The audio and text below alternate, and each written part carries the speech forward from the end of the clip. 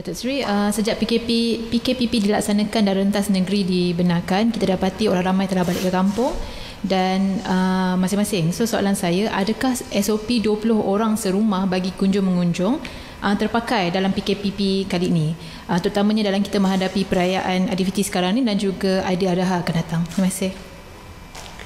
Kebenaran untuk menyambut Hari Raya adalah hari pertama dengan SOP 20 orang hari raya pertama saja dibenarkan. Jadi selepas itu tidak ada lagi lah sambutan hari raya.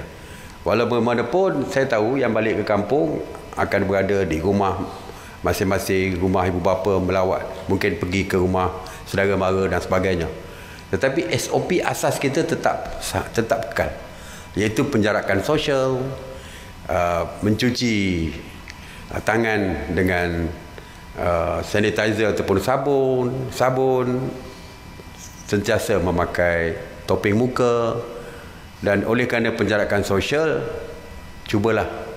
Uh, kalau di rumah yang kecil tentulah mungkin kurang daripada jumlah yang kita pernah benarkan dulu.